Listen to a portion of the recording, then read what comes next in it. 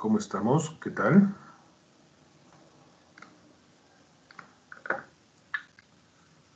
Espero que todo bien el fin de semana. Buenos días. ¿Cómo les va?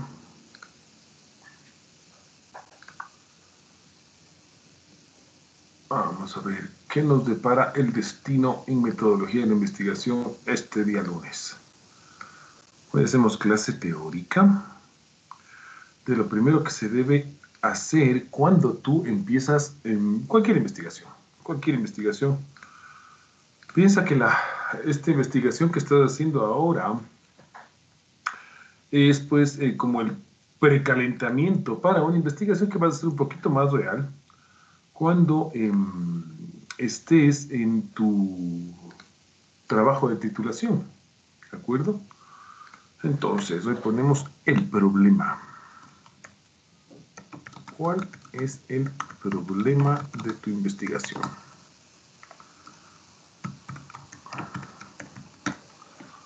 Muy bien.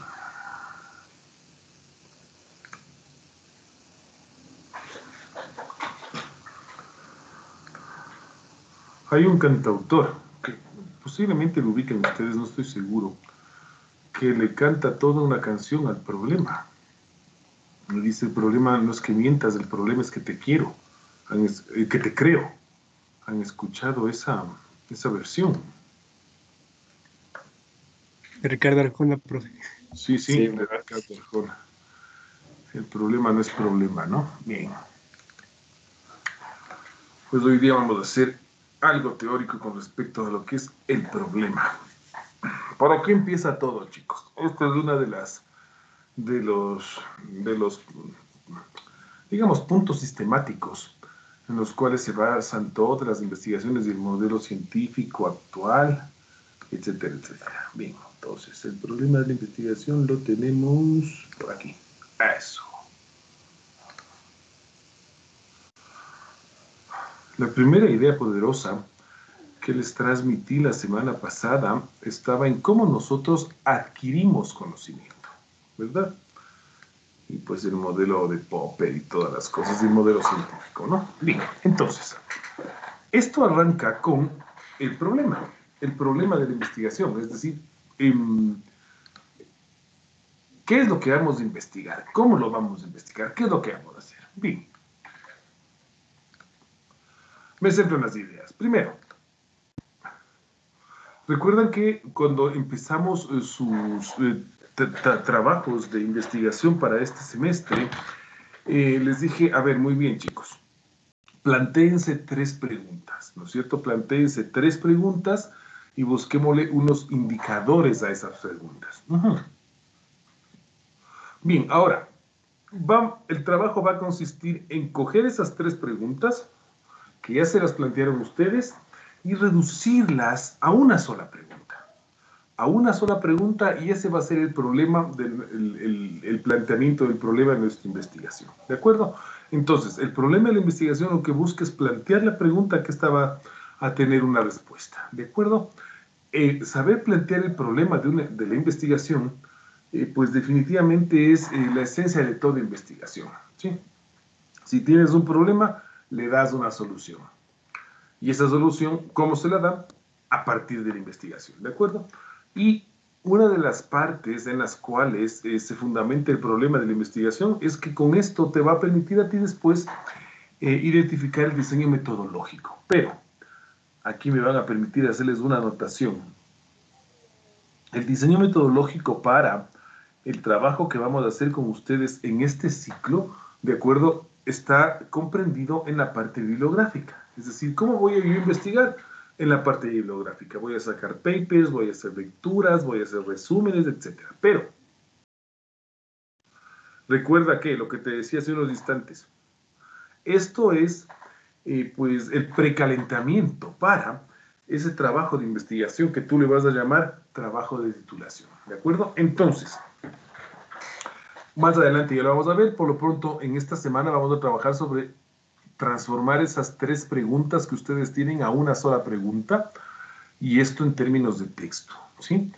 Y será la esencia de la investigación que lleven ustedes durante todo este ciclo académico aprendiendo las herramientas. Pero recuerden de que esto va a derivar en diseño metodológico, para lo cual ustedes tienen otra asignatura en la, en la malla curricular que se llama Estadística 2, que la dicta Jim Carvajal.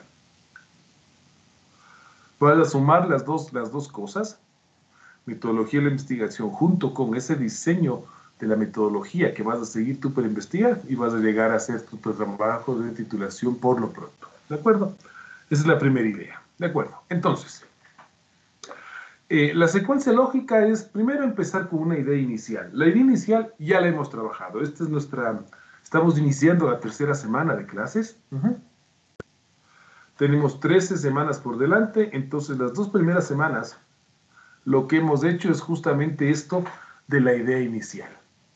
¿Qué idea inicial tenías tú para investigar? Entonces ya te pasaste leyendo unos papers, ya te planteaste tres preguntas. Esas preguntas tienen que irse modificando en función de lo que tú vayas leyendo hasta llegar a plantear qué incertidumbre, o sea, qué vacío de conocimiento existe y es lo que tú le quieres dar respuesta con tu investigación bibliográfica de este semestre. Esta es la secuencia lógica y es lo que hemos hecho con ustedes hasta este momento. Uno, idea inicial. Les pregunté en la primera clase, a ver, ¿qué quieren investigar, chicos? Ah, no, pues yo quiero investigar sobre las, las llantas. Hay personas que quieren investigar sobre lo que son vacunas del COVID, etcétera, etcétera. Ya salió la idea inicial, ¿de acuerdo? Salieron ese mismo día de la idea inicial y pues eh, preguntas hacer en, contestar, es decir, mm, bueno, yo quiero investigar por esto, por esto, pero después de estas dos semanas en las que yo pienso que has hecho uso de em, ese tiempo que te da el trabajo autónomo, de leer los papers, sacar los resúmenes, manejar el, el Mendeley, nos va a llevar y les va a llevar a ustedes hasta este día miércoles, o sea, tenemos dos días más, hoy día y mañana, y pasado, ¿sí? Para que ustedes transformen el problema. O sea, estas preguntas del problema, ya les voy a dar las directrices, ¿de acuerdo? Y el día miércoles, pues vamos revisando a ver cómo les quedaron sus problemas de investigación. ¿De acuerdo? Esa es la secuencia lógica, que es lo que estamos siguiendo.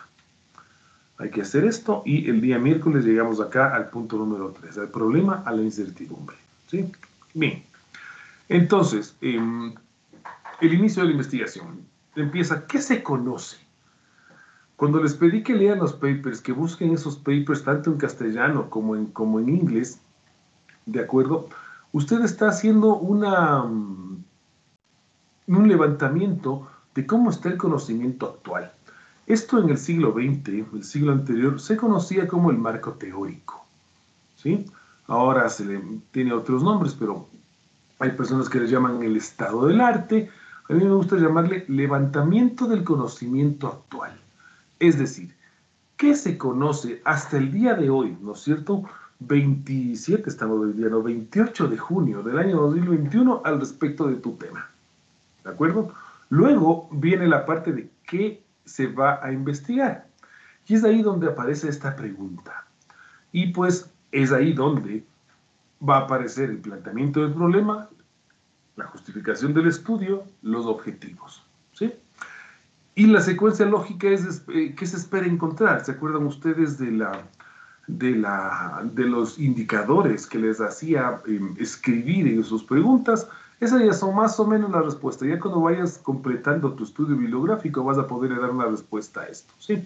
Y de ahí saldrán las hipótesis. Una hipótesis conceptual o una hipótesis operativa. La que ustedes van a plantear ahora son hipótesis conceptuales. ¿sí? ¿Por qué? Porque no vamos a hacer experimentación de nada, por tanto no haremos hipótesis operativa, por tanto esta parte de acá abajo, el diseño, ¿no es cierto? Pues no lo vamos a hacer en este caso. Pero cuando ustedes hagan su trabajo de titulación y las demás investigaciones que se planteen durante su vida eh, profesional y académica, pues eh, sí harán eh, hipótesis operativas. ¿Estamos de acuerdo? Entonces, están ustedes están acá arriba hasta este momento están ustedes aquí, levantando el conocimiento actual. Hemos tenido dos semanas más dos días hoy y mañana para hacer esta parte de aquí. Ya con todo eso que ustedes han ido leyendo, de ese eh, conocimiento, de lo que se han ido encontrando, de los resúmenes que han ido haciendo, ya más o menos tienen una idea, más o menos, porque hay que leer bastante, bastante, bastante, bastante. Para esto sí tienen que leer bastante, para hacer este levantamiento. Ya tienen una idea para poder pasar a esta fase de acá, que es lo que empezamos en esta semana. ¿De acuerdo? Esta es la, esta es la secuencia. De la, secuencia lógica se traduce este diagrama de flujo sencillito. Y vamos a centrarnos en plantear el problema. Plantear el problema y luego plantear la justificación del estudio. En texto, ¿no? Esto lo vamos a hacer en texto. Bien. Entonces, a considerar. ¿Es difícil visualizar algo que se pueda resolver? La respuesta es sí. No es sencillo visualizar algo que eh, usted va a tener que resolver con su investigación. No es tan fácil, ¿sí? Para solventar este problema, lo único que se necesita, y bueno, se dice rápido, pero eso es, eh, es así, es una lectura extensa del tema. ¿sí? No sé si, si, si, a, alguno de ustedes les pasó que, eh, pues, eh, el rato que fuiste leyendo tus papers, los documentos que fuiste encontrando, se te empezaron a abrir más preguntas en función de lo que van diciendo los autores. Entonces, eso es algo muy bueno. Si es que no se te plantearon más preguntas y no sé si no entraste como en, un mundo más grande de decir, oye, pero chuta, esto que yo pensaba no ha sido tan cortito como, como yo lo pensaba inicialmente, ese es un buen indicador. Ese es un súper buen indicador, es dices, oye, estoy por buen camino. Cuando vas descubriendo que se escribe bastante sobre cada uno de los temas y que empiezan a aparecerte más preguntas en tu camino, es un buen indicativo. Pero si sigues con las mismas ideas y las mismas interrogantes que tenías al inicio, significa de que no has hecho bien o te ha faltado hacer la lectura extensa del tema. Y esto es algo que solo tú lo sabes. Solo tú lo sabes porque cada uno de ustedes son, eh, ¿cómo es esto? Eh, partícipes activos de esto, ¿de acuerdo? Eh, por ejemplo, el grupo que está trabajando juntos, este grupo lo tiene un poco complicado porque tiene que empezar a ensamblar todas esas lecturas que están haciendo. Fíjate que ese grupo, la ventaja que tiene es que el número de personas que están en ese grupo, pues pueden decir, no, pues aquí ya está consultado todo, pero cada uno de ustedes empieza a leer, empieza a leer más, empieza a leer más, y eso es, se tiene que ir acumulando, se tiene que ir acumulando, y eso ponerlo todo junto no es sencillo, no es fácil, ¿de acuerdo? O sea, el, grupo de, varias personas tiene muchísimo más trabajo que, el caso de las personas que están haciendo los trabajos individuales, ¿vale? Lectura extensa del tema. Entonces, si el profesor te pidió tomar 10 papers, 5 castellanos, 5 inglés, y tú has descubierto de que ya por lo menos no tienes 10, tienes 20, porque te han salido más dudas, eh, has seguido las referencias de cada uno de los autores de los documentos y quieres seguir ampliando el conocimiento, eso es buen indicativo, buena cosa, porque estás haciendo un buen trabajo, ¿de acuerdo? Entonces, uno, lectura extensa del tema, mucha lectura, mucha lectura, porque esto fundamenta lo que te mencionaba aquí en esta, en esta diapositiva. Levantamiento del conocimiento actual. De ahí salen todas las ideas. Bien, entonces, eh, no es tan fácil pero, eh, escribir entonces de qué problema se trata. Y eso es lo que van a hacer ustedes este día, eh, estos dos días, hasta el día miércoles que lo revisamos. ¿sí? Para resolver un problema, tienes que tú saber de qué problema se trata. Y para saber de qué problema se trata, tienes que leer mucho. Y entonces solo así vas a poder plantear adecuadamente el problema de tu investigación. Es en este punto, chico, que les pido a las personas que hacen el trabajo de manera individual, pues eh, de que lo hagan, eh, de que esto les va a ayudar para centrar más el tema, porque para que me digan, oiga, profe, lo que yo pensaba estaba bastante largo, pero ahora he visto que lo puedo centrar un poquito más y concentrarme en, determinados, en determinadas partes. ¿De acuerdo? Esto es como el pescado que se mueve la cola, ¿no? ¿De qué problema se trata? O sea, para resolver un problema tienes que saber de qué problema se trata. Y el problema se trata de la falta de conocimiento que tú tienes, ¿no es cierto? A la pregunta que tú vas a plantear dentro de tu tema, que eso denota de, pues, de que quieres conocer un poco más al respecto de lo que tú estás eh, investigando, ¿sí? Entonces, ¿Qué necesitamos? Uno, no tienes que saber mucho del tema. Ojo, capaz que esa es una de las primeras de las primeras ideas que te pudo haber venido a la cabeza. Es decir, hoy no es que yo debo saber bastantísimo para poder investigar sobre esto. No, no necesariamente. Porque eh, tenemos los humanos en el siglo XXI esta fabulosa herramienta de acumular conocimiento que se llama eh, pues, ir escribiendo documentos de, de, difusión científica llamados papers o manuscritos. Entonces, no, no, necesitas ser un experto en el tema que tú vas a investigar, pero sí necesitas ser un ávido lector del tema que tú vas a investigar. Así de sencillo. Dos. no funciona esto que pasó. No basta em, tener capacidad para plantear algo nuevo. ¿sí? Es decir, la parte intuitiva y la parte inventiva no es suficiente. Necesitas ser estructurado también en la parte de cómo ir encontrando la información, eh, cómo ir resumiendo la información que vas encontrando, que es bastante. Y entonces em, ahí se debe juntar con la invención, con la innovación que, vos, que tú vas teniendo, con la creatividad que vas teniendo, decir, a ver, ¿cómo, cómo organizo todo esto? cómo me planteo las cosas, cómo voy clarificando las ideas. ¿sí? ¿Qué es lo que necesitas? Creatividad. Para ser investigadores, los investigadores no son creativos, son súper creativos, es decir, del el nivel creativo, lo siguiente, ¿de acuerdo? No, no le gana nuestra facultad, se llama la facultad de la creatividad. No somos las únicas profesiones que necesitamos ser creativos, toda profesión que esté investigando necesita ser creativo, eso hay que dejarlo claro.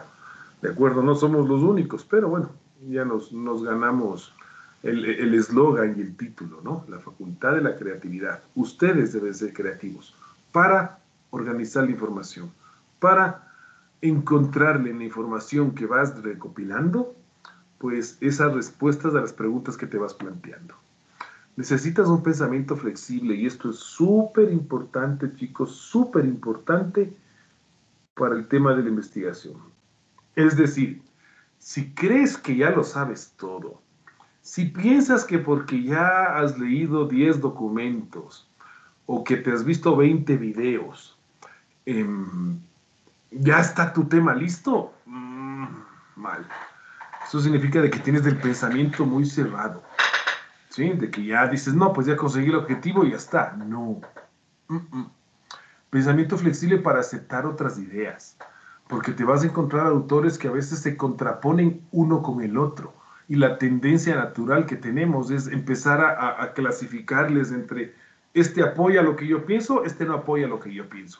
Este me cuenta las cosas claras, este no me cuenta las cosas claras.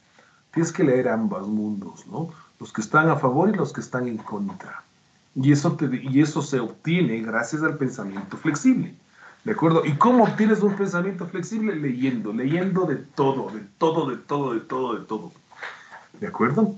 Y para eso se requiere pues tiempo y metodología. ¿De acuerdo? Necesites tener tintes de curiosidad. Así empezó la idea inicial de tu proyecto. Es decir, Dios decía, ¿qué es lo que les apasiona? ¿Qué es lo que les gusta? ¿Sobre qué es lo que quieren ampliar su información para conocerlo? Para que te responda a esa pregunta tienes que ser curioso. Decir, mm, ¿de qué será esto? Una persona curiosa no es la que se queda con lo que ya le dicen o lo que, o lo que encuentra en los tres primeros links del buscador de Internet esa no es una persona curiosa, esa persona ha cortado su capacidad de curiosidad. Una persona curiosa es la que busca más adentro, la que se mete más, la que trata de encontrar el quinto pie al gato, la que le da la vuelta a las cosas, ¿sí? Abriendo la mente, abriendo la, la capacidad para pensar, no cerrarse en ideas ya preconcebidas, ¿de acuerdo? Lo único que ya está dicho y super dicho son leyes naturales, chicos. Por ejemplo, ley de la gravedad, ya está, eso está ahí, no podemos cambiarlo. Eso ya está dicho y super dicho, probado y recontraprobado.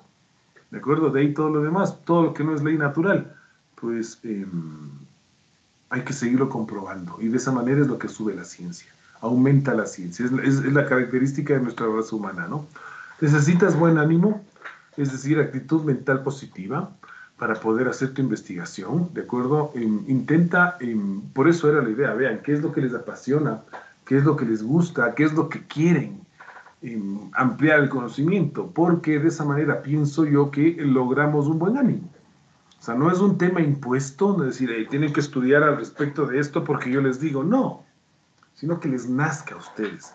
Un investigador que no le nacen estas preguntas, no tiene sus buenos ánimos, esa metodología, ese tiempo, pues no es un buen investigador.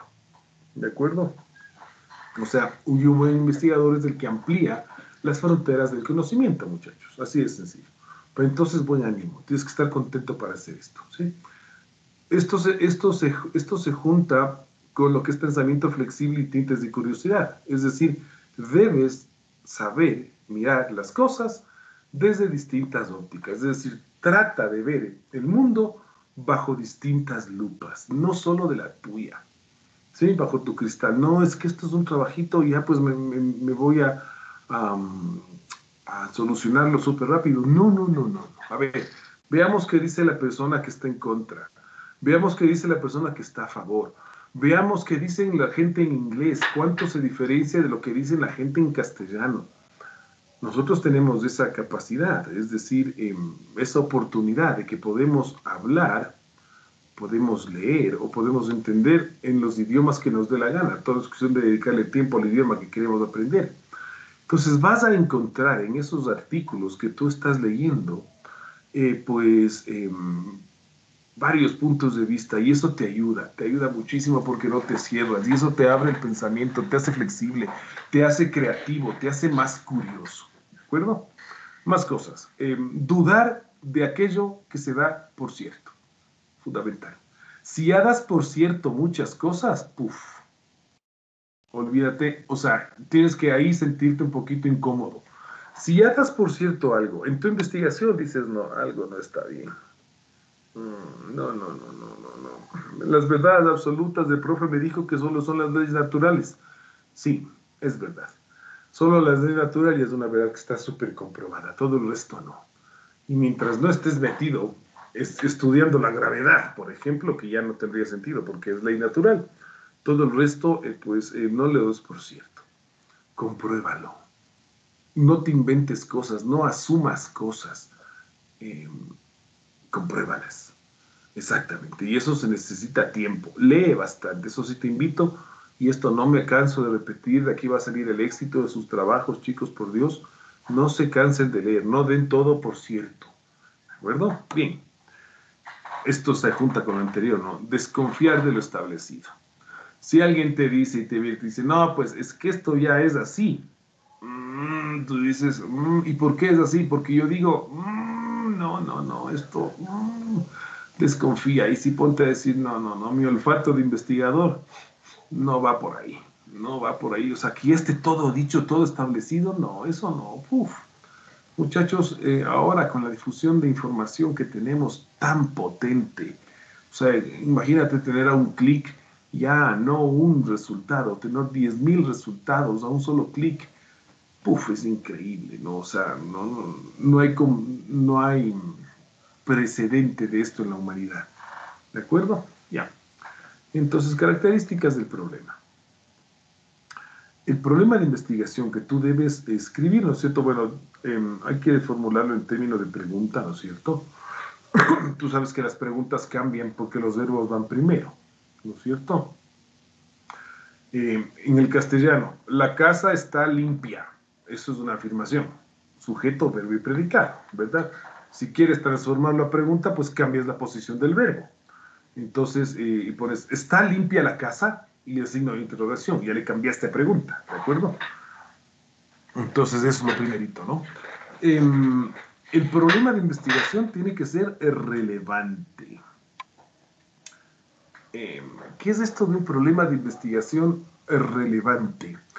Eh, pues tiene que estar centrado en base del conocimiento actual. ¿sí? ¿Qué es lo que se ha hecho? Por eso te, decía, las ideas empiezan con el conocimiento actual, ¿no? Eh, por eso es lo que deben haber escuchado también ustedes de otros profesores, que eh, como es esto, em, siempre se trata de buscar la bibliografía más reciente, porque si empiezas a levantar bibliografía solo de los de hace 10, 15, 20, 30, 50 años atrás, no, pues, o sea, ya, ya perdería relevancia, ¿no es cierto? Porque estás hablando de cosas que ya están viejitas, ¿no?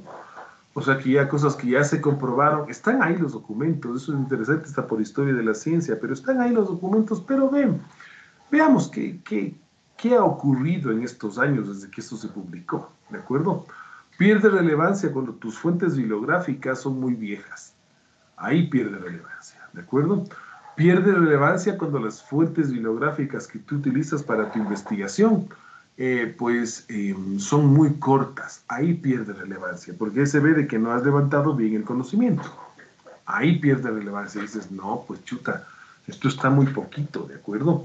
Pierde relevancia cuando solo te centras en un grupo de autores. Ahí pierde relevancia, porque no estás viendo, no estás ampliando la frontera, no estás abriendo la mente, ¿de acuerdo? Ahí pierde relevancia tu problema de investigación. Para que ganes relevancia, tienes que buscar más autores. Para que gane relevancia, tienes que buscar documentos eh, escritos en los últimos años, ¿de acuerdo? Para que gane relevancia, el problema que tú vas a escribir, pues no debe estar sesgado, sino tratar de, de agrupar un número grande de autores, ¿de acuerdo? El problema de investigación que tú vas a escribir en estos días tiene que ser pertinente, o sea, debe partir, debe pertenecer, debe ser parte de un gran problema. Un gran problema, o sea, es decir, o debe ser parte de un gran tema. ¿De acuerdo? Entonces, esas escalas de clasificación, no sé si es que eso lo hicieron trabajar en el colegio sus profesores. vamos desde lo general hasta lo particular. ¿De acuerdo? Lo particular pertenece a la, al problema general, más o menos es esto, ¿no? Es decir, em, por ejemplo, pienso ahora en la investigación de la compañera que quiere hablar de las de la, la, la, eficiencia y la eficacia de las vacunas contra el SARS-CoV-2, ¿de acuerdo? Entonces, em, ya le dio un par de papers ahí que, eh, para que empiece ella su trabajo, ¿sí? Em, pertinente sería ver qué, em, además de lo que está dicho ahí, qué otras cosas se ha podido aportar desde que salieron esos artículos en adelante. Eso sería pertinente. ¿De acuerdo? Ah, Sí, porque no, vamos a hacer un parafraseo de lo que ya está escrito, ¿no? Solo es investigación, eso sería eh, una compilación bibliográfica, ¿de acuerdo? Em, el problema de investigación tiene que ser específico, no divagar, ¿de acuerdo? No divagar, sino tiene que ser como un rayo láser, chicos, es decir, como un rayo láser de toda la problemática que está alrededor de tu tema, ¿no es cierto? Porque hay muchas problemáticas, muchas dudas que te has planteado tú.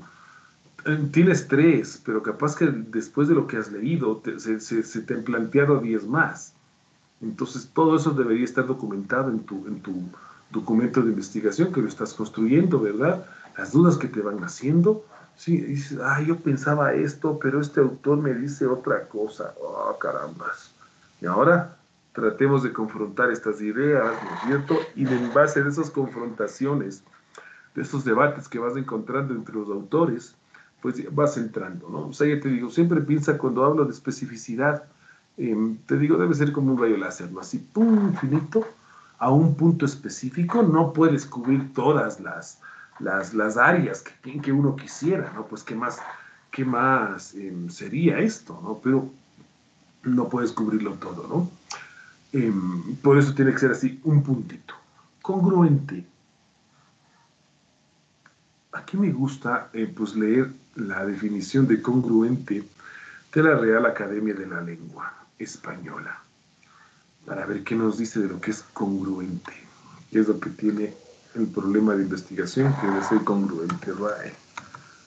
Punto S, vamos a la RAE.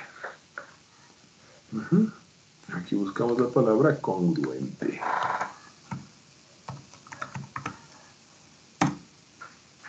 Verás la definición tan interesante.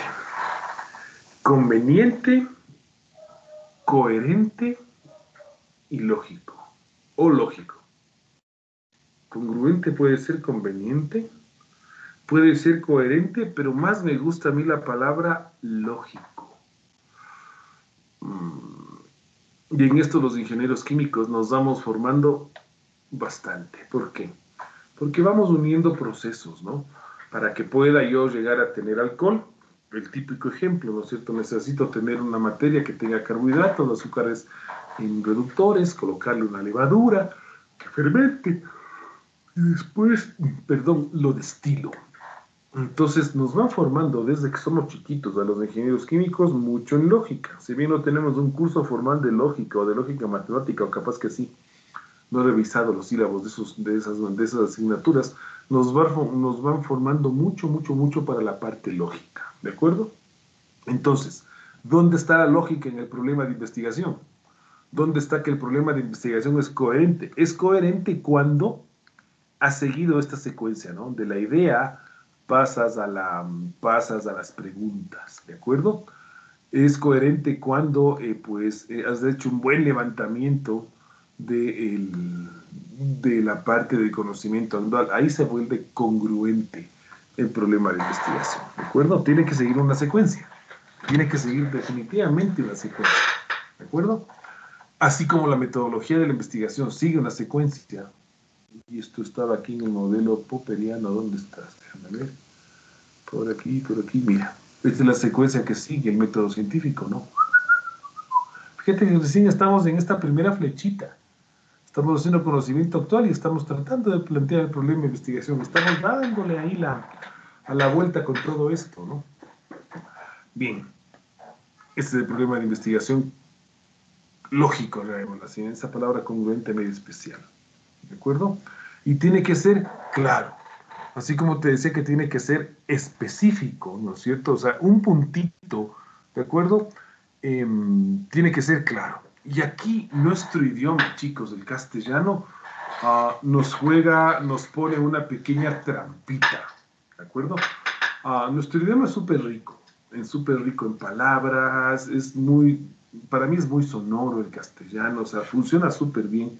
Es, es un chévere idioma el que nosotros tenemos, pero por todos esos tiempos verbales, adjetivos, artículos, sustantivos, pretéritos y tanta cosa, se hace, un, se hace un idioma que a veces nos permite conjunciones, en adverbios, etcétera.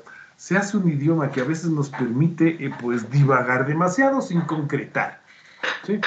Y esto, en esto fue experto uno de los artistas mexicanos del siglo anterior, que mm, las famosas cantinfleadas, ¿no? Que se dice mucho, pero en el fondo pues no dice absolutamente nada. O sea, no concreta absolutamente nada, no, es, no, no va así como cuchillo a tratar de resolver, a tratar de escribir las cosas, ¿de acuerdo? Eso no puede ser, es decir, aquí una cantinfleada en el problema de investigación no podría ir, por tanto tiene que ser concreto.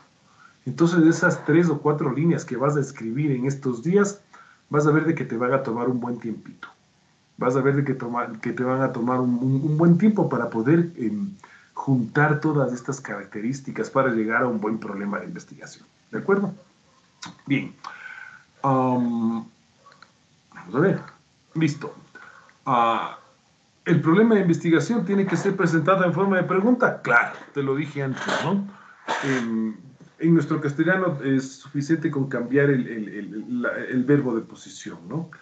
Em, ya no es sujeto, verbo, predicado, sino sería verbo, eh, verbo, sujeto, predicado, ¿no? la casa es linda, está la casa linda, es la casa linda, listo, ¿de acuerdo? Entonces, aquí viene un arte, muchachos, aquí no hay una regla que para poder hacer bien el problema de investigación tienes que saber hacer preguntas. Chuta, y esto no es tan sencillo, ¿de acuerdo? Porque si tienes una buena pregunta, ya tienes un buen objetivo.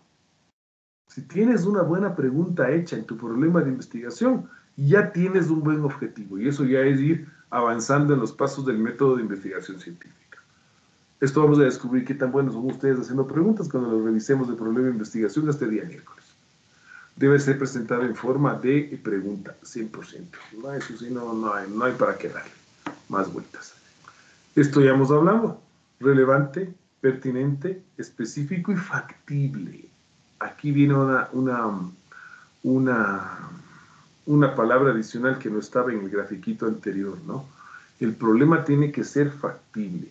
Factible que tú lo puedas resolver con las herramientas que tú tienes ahora, que es la investigación bibliográfica, la compilación y la revisión de muchos documentos. Eso tiene que ser factible. No puede ser que algo quede al azar, que algo te quede suelto, que digas, bueno, y como ahora solo tengo libros y después haré la experimentación, ahí comprobaré mis ideas. No, ahora tiene que todo solucionarse en cuatro meses, chico, en 16 semanas. Vamos dos, estamos iniciando la tercera, nos quedan 13 semanas, ¿vale? Entonces, em, piensa de que esto debe resolverse, no en 13 semanas que te faltan. Piensa que esto debe resolverse en, en unas 7 o 8 semanas más máximo. ¿De acuerdo? ¿Por qué?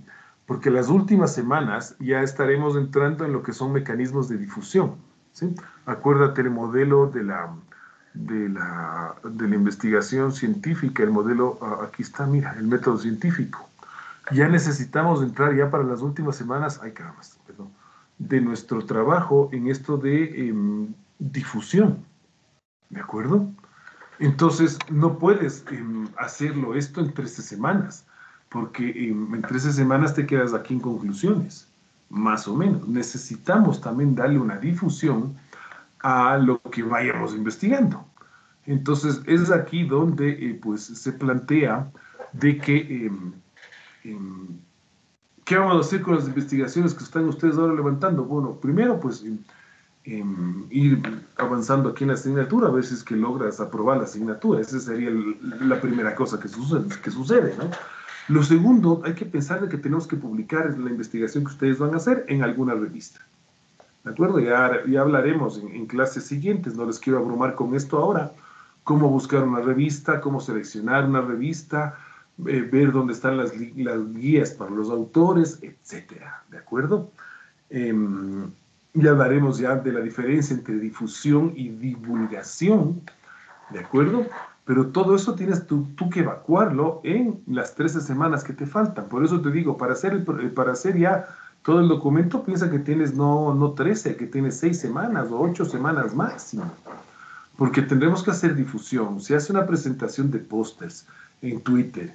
Eh, se hace a las personas que quieran eh, divulgar sus contenidos, se hacen webinares y todos ustedes, todos sin excepción, em, envían su, su artículo, ¿no es cierto?, a una revista. Y eso ya te digo, no te abrumo con esto porque ya te voy a dar directrices para saber escoger una revista, em, puede ser de difusión o de divulgación científica, cada una tiene sus, sus normas, sus reglas, ya vamos a hablar también de esto, etcétera, ¿vale?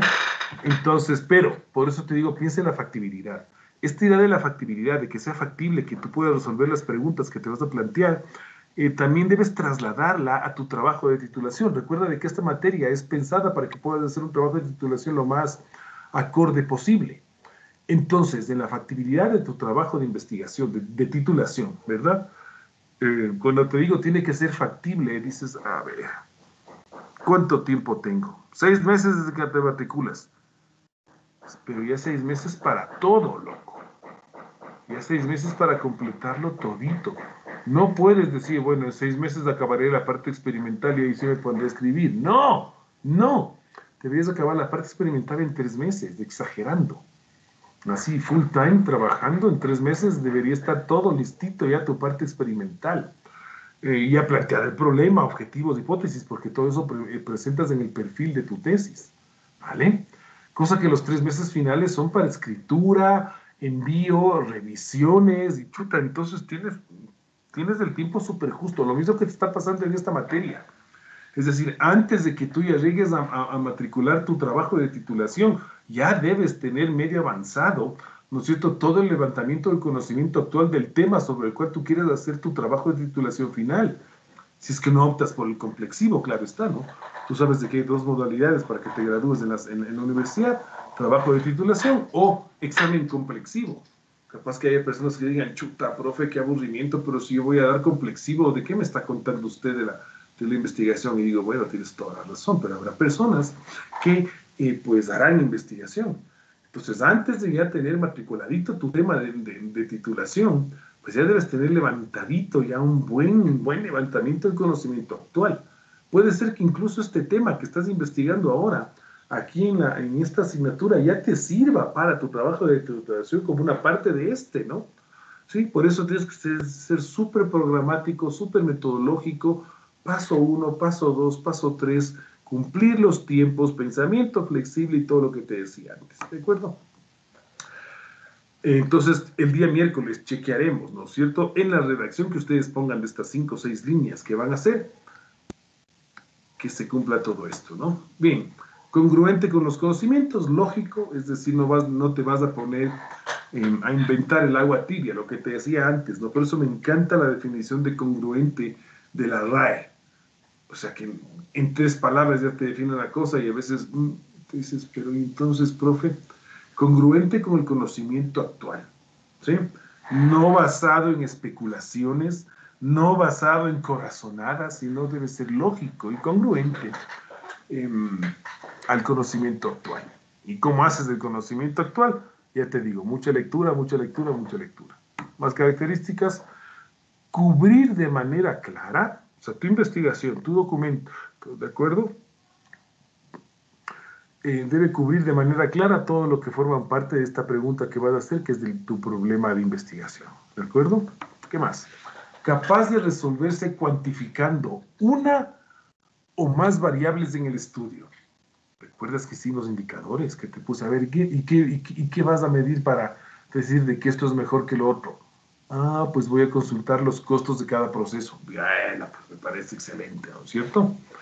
Eso es cuantificar, ya medir las variables, transformar tus indicadores en variables. Eso es cuantificar. ¿De acuerdo? ¿Qué más? Los conceptos deben poder definirse en términos operacionales. Esto es muy típico de las investigaciones que requieren parte experimental. ¿De acuerdo? Términos operacionales son términos operativos, es decir, em, se lee el problema de investigación, inmediatamente dices, a ver, ¿cómo, cómo, cómo traduzco esto en objetivos? ¿Cómo traduzco esto en diseños experimentales? Y etcétera. ¿De acuerdo? Esta parte ya te digo, guárdala para la tesis. Te pongo aquí un asterisquito guarda este tema para la tesis, ¿sí? de que debe poder definirse en términos operacionales. Eso ahora, en el problema de investigación que te estoy pidiendo hacer para el día miércoles, todavía no, esto no, esto guárdalo para la tesis, ¿de acuerdo? Oh, características, debe existir una respuesta prevista incluso antes de iniciar el estudio. Debe existir una respuesta prevista incluso antes de realizar el estudio, independiente de si al final los resultados respalden o no la teoría, que se someterá a prueba. Verán esto. El problema que tú te vas a plantear tiene que ser completamente independiente, no debe tener relación, ¿de acuerdo? con resultados que respaldan o no, acuérdate que te decía que debes eh, mirar varios, varios autores, ¿verdad? Entonces, que respalden o no a la teoría que se someterá a prueba. La teoría que se someterá a prueba es tratar de resolver la pregunta eh, de tu, de tu tema que te planteaste. ¿De acuerdo? Ojo con esto. No te empieces con la pregunta para redactar tu, tu, tu objetivo, ¿no? ¿Qué voy a investigar? Sino qué problema voy a resolver, ¿no? Debes conocer más del tema, exponer el proceso de razonamiento. Exponer el proceso de razonamiento significa lo que yo le llamo armar eh, pues eh, tratar de uno ver cómo es que los otros autores llegaron a las conclusiones que ellos llegaron. ¿Sí? Eso es tratar de exponer el proceso de razonamiento. Tú partes de otros autores y dices, a ver, ¿cómo este concluyó esto? Veamos. Ah, primero hizo esto, primero afirmó aquello, luego lo comprobó de esta manera. Ah, ese es el proceso de razonamiento. ¿Yo cómo voy a hacer el mío? ¿No es cierto? Por eso es exponer el proceso de razonamiento. Tú, Ahora, estudiante, ¿cómo vas a resolver el problema que te has planteado? ¿Sí? Una de las respuestas podría ser, bueno, parte bibliográfica, recopilación de información, datos oficiales, bla, bla. En la tesis, ¿no es cierto? Exponer el proceso de razonamiento y esto se, se escribe en el perfil de titulación. Es cierto que la palabra tesis a mí me sale muy, muy fluida y no se debe llamar tesis. Me dijeron, no le llame tesis, se llama trabajo de titulación. Ya, sí, es verdad. Ya, mil perdones, chicos. Ya, y la exposición con sustento científico. Aquí, muchachos, es algo súper pleno. Así como el castellano nos da la opción de eh, adornarle mucho y a veces decir muchas palabras sin concretar nada, etcétera, etcétera, etcétera, eh, pues eh, también nos ayuda a ser súper concisos. En esto el inglés es número uno. Si es que alguien quiere escribir en inglés, bienvenido. Podría yo hacerle una lectura de lo, um, de lo que usted escribe en inglés para ayudarle, ¿no? Pero si quieres escribir en castellano, pues ahí sí tienes que sujetarte a esta, a esta idea central. Sujeto, verbo y predicado. ¿Sí? A veces decimos que escribimos como leemos y muchas veces tratamos de llevar a la, escritura de esto de, los, de, nuestras investigaciones lo bonito que escriben en prosa o en drama las, los autores, ¿no? Entonces, em, fíjate, la afirmación sería, la casa está bonita. Eh, pero si ya le quieres poner un poco de ahí, de, no sé si llamarle em, arte, al lenguaje, empiezas a cambiarle predicado y le pones primero, ¿no? Bonita está la casa. ¿Verdad? El adjetivo le pones primerito, ¿no? Entonces eso como que le da para, para el drama, la comedia, los, em, los thrillers, em, como un poco más de elegancia al lenguaje, ¿no? Pero en investigaciones te digo, es, que debe ser así. Sujeto, verbo y predicado. Em, este último también guárdenselo para cuando ustedes hagan su tesis. Para cuando, ay, otra vez. Esto último guárdenselo para cuando ustedes hagan su trabajo de titulación. ¿De acuerdo? Em, ahí, cuando planteen el problema, eh, pues em, hay que buscarle ese, juntarse esto de la, aplicabilidad entre la teoría y la práctica. Es lo que en los perfiles de titulación de la facultad hay unos apartados que se llaman alcance y justificación del tema. El plantear el problema de investigación es describir el alcance y la justificación del tema. ¿De acuerdo? Entonces ya te digo, esta materia es pensada exclusivamente para darles a ustedes las, eh, las ¿cómo es esto? Las em, herramientas para que hagan súper chévere su trabajo de titulación. ¿De acuerdo? Eh, creo que aquí se me acaba la presentación. Sí, las partes teóricas de esto me gusta bastante porque son súper concretas. Son súper concretas, no están muy ambiguas. ¿Qué es lo que te dice? Ve, ponte a leer mucho de tu tema y de las tres preguntas que tienes, pues me, me juntas eso en uno solo junto con los indicadores, porque ahí se va a ver la aplicabilidad. ¿De acuerdo? Fíjate, te voy a abrir ahora unos perfiles de titulación de, algunos de tus compañeros que se han presentado, ¿de acuerdo?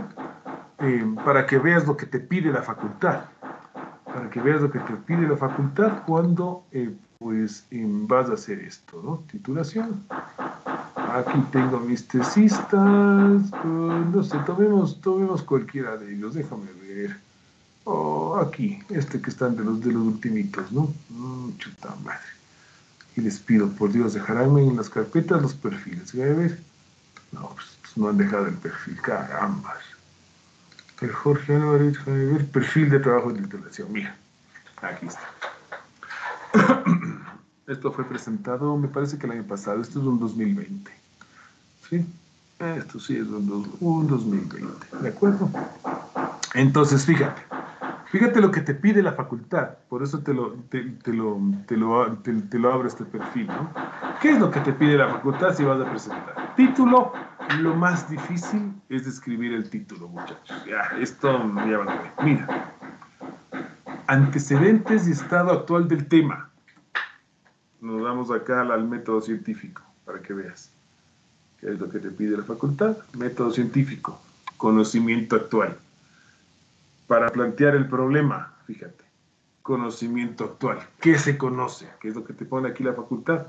Como punto uno, ve, por Dios, antecedentes y estado actual del tema, levantamiento del conocimiento. Así empieza toda investigación, para ver de qué se trata lo que tú sabes, ¿no? Bueno, aquí te despapayas, mira, justificación como punto tres, justificación y después viene algo llamado alcance. ¿De acuerdo? Y bueno, esta parte está un poco rara, porque es marco teórico, esto ya estaría, debería estar incluido día, pero bueno, esto ya saben por qué la dirección de carrera lo pone así. Y fíjate, metodología, ¿de acuerdo? Metodología, y esto ya te digo, esto viene en la tesis, luego viene eh, bibliografía y el cronograma de actividades, ¿de acuerdo? Que es exactamente lo mismo. Todos los, los perfiles de trabajo de titulación pues tiene esto. Ya te voy a, hacer, ya te voy a ayudar a, te voy a enseñar en las siguientes clases cómo redactar objetivos, ¿no? Y hablaremos de la taxonomía de Bloom y esas cosas. Pero fíjate, hasta ahora, pensando que tú en algún instante llegues a plantear trabajo de titulación, Lo que estás haciendo aquí en metodología es lo que se hace con esta cosa, ¿no? Mira, antecedentes y estado actual del tema, justificación, alcance y objetivos. Justificación y alcance es el problema de investigación. Mira, conocimiento actual, pregunta, ahí tienes el alcance, ¿no? ¿Qué voy a investigar? ¿Hasta dónde voy a llegar? Y después, bien, fíjate, objetivos. Si lo ves acá desde el método científico, aquí lo tienes, mira. El problema de la investigación, los objetivos y las hipótesis y el diseño, que es justo lo que te está pidiendo el perfil de trabajo de titulación en la facultad. ¿De acuerdo? Bien, em, ya está. Yo pienso que esto sería momento ya de dejarles trabajar, ¿no es cierto? De que ya se sienten con sus temas. ¿Qué tenemos? Sí, 50 minutos. Bueno, excelente. Yo creo que es, más que suficiente. Eh, dejarles trabajar en sus temas. Tomen este tiempo, ¿no es cierto? Y adelante, o sea, empiecen a, continúen con sus lecturas. Yo estoy súper convencido de que ustedes están leyendo, ¿no es cierto? Le están dando el trabajo autónomo que tienen que darle a esta materia, que creo que es una hora a la semana o dos. Dos horas me parece que era esto. Bueno. Y adelante, pues chicos, a plantear ese problema de investigación. ¿Dudas? ¿Inquietudes? algo que no les haya quedado claro, que piensen que necesite que les explique de otra manera.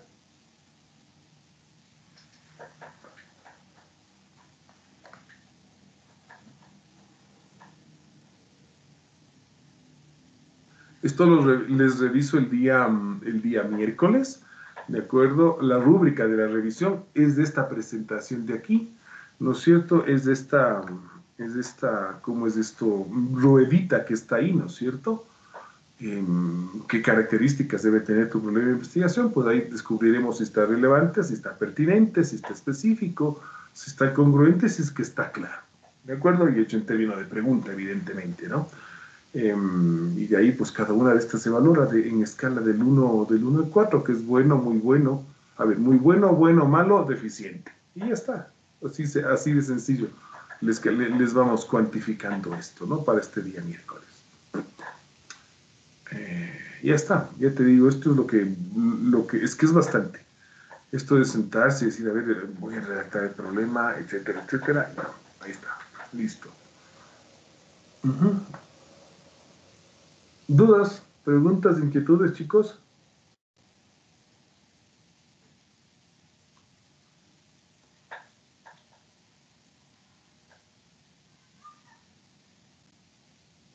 Eh, no. Está, me despido. Que tengan un gran día, nos vemos el día miércoles. Y les digo, el día miércoles lo único que voy a hacer es leer los problemas de investigación. Como leo los problemas de investigación, ustedes me presentan, qué sé yo, máximo 10 líneas. 10 líneas exagerando, pero es que es demasiado. 5, 6, 7, 8, 9, 10 líneas, en lo cual me dices, a ver, vea, profe, mi, mi, mi problema. Em, y ahí pues vamos viendo, ¿no? Ya te digo, tengo estos, estos em, eh, cinco niveles, en los cuales hay que ir poniendo entre muy bueno, bueno, malo, deficiente. Y todos son por mejorar, ¿no? Y ya está. Si no tienen preguntas, si no tienen dudas, pues eh, ya está, chicos. Les pido que tengan un gran día. Aprovechen esta hora diferente, o sea, esta, esta hora que resta de las clases, ¿verdad? Para em, continuar. Para continuar, me imagino que el grupo que está trabajando todos juntos deben reunirse, pueden reunirse en esta hora también, ¿no es cierto? Para que puedan trabajar en su problema de investigación. Ellos tienen muchísimo más trabajo porque han leído más. Entonces tienen más ideas, están, tienen, tienen abierto más del mundo el grupo que está trabajando en conjunto, ¿no? Porque son muchas personas que han leído documentos diferentes cada una son seis personas, me parece, ¿verdad? Imagínate, seis personas, cada uno se, leyó diez documentos, que es lo que les había pedido. Pucha, son 60 documentos, entonces tienen una cantidad de conocimiento brutal ahí. Em, en cambio, ustedes, los que están trabajando solos, pues tienen 10 apenas, ¿no? O más, dependiendo qué tan curiosos hayan sido. Entonces, em, ya tienen, ya. Em, dudas, preguntas, muchachos, no hay ninguna, me despido. Que tengan un gran día, ¿vale? Nos vemos el día miércoles para revisarles esto. Adiós, buen día. Hasta luego, Gracias. Hasta luego.